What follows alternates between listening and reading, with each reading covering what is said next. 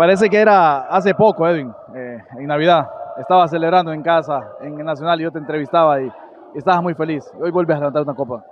Sí, bastante feliz, bastante cansado también porque fue difícil.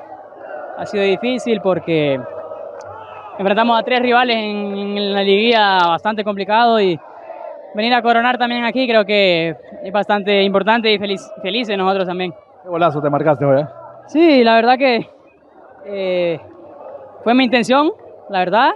Habíamos visto videos que el portero se movía y pues gracias a Dios que, que pude anotar el gol y, y muy felices. Lo que hablábamos el viernes, eh. sufrieron mucho el inicio, hoy llevan 8, 8 con Pedro. ¿Qué tiene este equipo de Pedro Trolio? No, el, el hambre siempre quiere ganar, yo lo dije que, que este equipo pues la humildad lo caracteriza, el sacrificio que ha tenido siempre y en cada partido pues yo dije que no íbamos a venir a echarnos atrás, teníamos que venir a hacer daño, incluso el partido lo pudimos haber eh, finalizado con muchos mucho goles a favor, no se hizo, pero al final se sufrió un poco, pero felices.